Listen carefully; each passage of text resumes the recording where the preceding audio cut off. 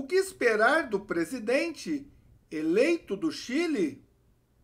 Intervenções na educação, na mídia, na economia, nos direitos de expressão, de consciência, de associação, de ir e vir.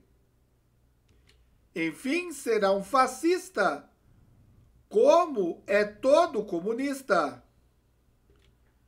Príncipe Luiz Felipe de Orleans e Bragança, deputado federal por São Paulo.